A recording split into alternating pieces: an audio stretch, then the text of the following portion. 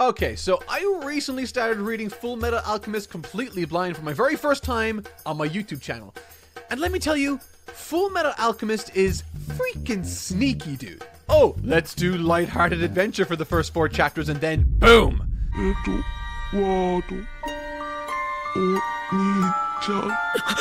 I really didn't know anything about this series other than that people loved it.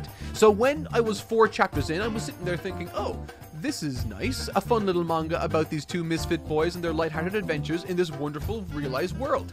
So when I tell you that this shit took me by surprise and shook me to my very core, I mean it.